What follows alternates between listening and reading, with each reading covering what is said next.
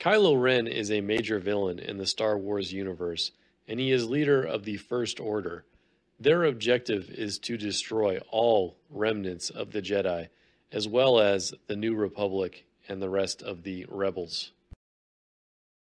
Kylo is the son of Han Solo and Princess Leia. Unfortunately, at a young age, he decided to turn to the dark side. Kylo Ren looks up to Darth Vader, which is why he holds on to his mask. However, Kylo remains immature and unable to control his emotions, which is looked down upon by members of his order.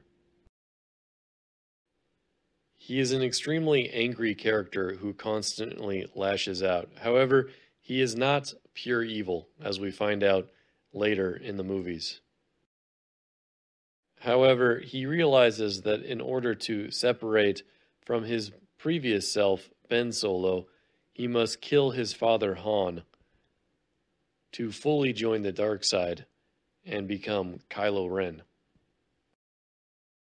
Later on in the character's growth, he discovers that he's part of a dyad in the Force with the protagonist, Rey. They form an unbreakable bond despite being born from completely different parents.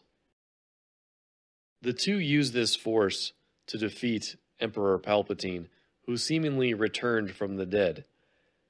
However, in the ensuing battle, Kylo loses his life. In a surprising twist, Kylo Ren manages to learn Rey's healing force technique and save her as she lay dying. We then learn that Kylo Ren had returned for a short time as a force ghost in a final effort to save Rey's life, ending a fairly bittersweet story for both characters. If you enjoyed this video, please like and subscribe. If you want more Star Wars content, then please share it with your friends. Hello, fellow nerds. Krononaut, a band of time traveling nerds, are here to bring you all the lore from the Marvel Cinematic Universe, DC Extended Universe, Star Wars, Pokemon, and more. I hope you'll travel with us to the past and share your ideas with the group on where you think your favorite cinematic, gaming, or comic book universe will go next. Click the link in the description to join us on our adventures. Get early access to new videos every week with zero ads at krononaut.com.